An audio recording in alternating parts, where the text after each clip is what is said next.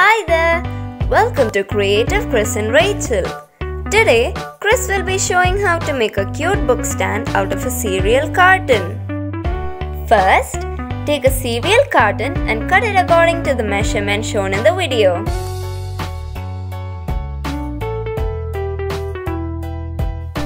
Now take two sheets of paper of different colors and cut them diagonally into strips.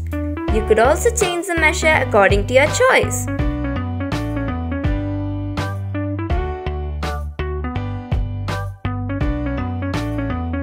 Stick the strips alternatively to form a pattern.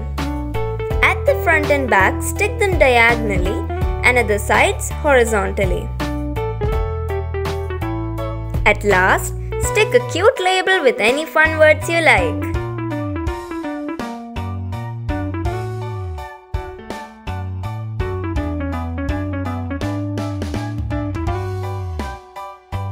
And it's done! Thanks for watching. Make sure to subscribe to our channel, like our videos and leave a comment. Bye!